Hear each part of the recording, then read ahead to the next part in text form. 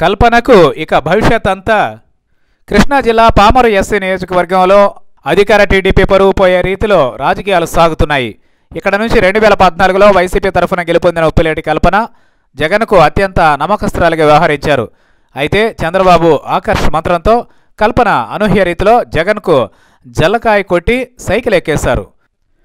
అయితే చిత్రంగా ఇక్కడే రెండు వేల పద్నాలుగులో ఆమెపై పోటీ చేసి టీడీపీ తరఫున ఓడిపోయిన మాజీ పోలీస్ అధికారి వర్ల రామయ్య ఆమె పార్టీ మారడంలో కీలకంగా వ్యవహరించడం గమనార్హం. ఆమెను చంద్రబాబు వద్దకు తీసుకువచ్చి పరిచయం చేయడంతో పాటు కండువా కూడా కప్పించారు వర్లాయ్. అంతవరకు బాగానే ఉన్నా ఇప్పుడు మాత్రం ఈ ఇద్దరు నేతల మధ్య పచ్చగడ్డి వేసినా బగ్గుమంటోందని అంటున్నారు విశ్లేషకులు. అసలు మ్యాటర్ ఏంటంటే కల్పన పూర్వాశ్రమంలో టీడీపీలోనే ఎదిగారు. రెండు వేల నాలుగులో నిడుమూల నుంచి పోటీ చేసి ఓడిపోయిన ఆమె రెండు వేల తొమ్మిదిలో టీడీపీ నుంచే పామరలో పోటీ చేసి ఓడిపోయారు. ఆ తర్వాత ఆమె పార్టీ మారి పామర్లో వైసీపీ నుంచి గత ఎన్నికల్లో కేవలం ఏడు వందల పదమూడు ఓట్ల స్వల్ప తేడాతో గెలిచారు. ఆ తర్వాత ఆమె సైకిల్ ఎక్కేశారు.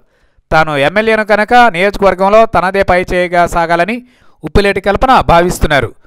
అంతేకాదు ఆమె కుటుంబ సభ్యులు కూడా నియోజకవర్గంలో ఆధిపత్య రాజకీయాలు చేస్తున్నారు.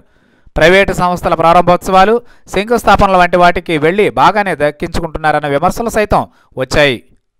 పామరు సెంటర్లో కొన్ని రోజుల కిందట జరిగిన ఓ వస్త్ర దుకాణం ప్రారంభోత్సవానికి వెళ్ళిన కల్పన అక్కడ దాదాపు ఓ పాతిక లక్షల విలువ చేసే చీరలకు టెండర్ పెట్టారని స్థానికంగా ప్రచారం జరిగింది. అదేవిధంగా అన్ని కార్యక్రమాల విషయంలోనూ తనకే తెలియాలని ఆమె పట్టుబడుతున్నారు. అయితే ఇదే సమయంలో నియోజకవర్గం టీడీపీ ఇన్ఛార్జిగా ఉన్న వర్ల రామయ్య దీనికి అభ్యంతరం వ్యక్తం చేస్తున్నారు. తాను గత ఎన్నికల్లో స్వల్ప తేడాతోనే ఓడిపోయానని వచ్చే ఎన్నికల్లో పామర సీటు తనదే అని ఆయన చెబుతున్నారు.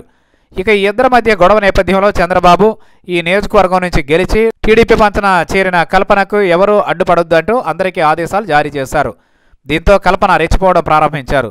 అయితే దీనికి అడ్డుకట్ట వేయాలని భావించిన వరలరామయ్య చంద్రబాబు వద్దన్నా కూడా ఈ నియోజకవర్గంపై ఎప్పటికప్పుడు సమాచారం తనకు అందేలా కొందరు వ్యక్తులను రహస్యంగా నియమించుకున్నారని తెలుస్తోంది. స్థానిక నేతలతో ఆయన ఎప్పుడూ టచ్లోనే ఉంటున్నారు.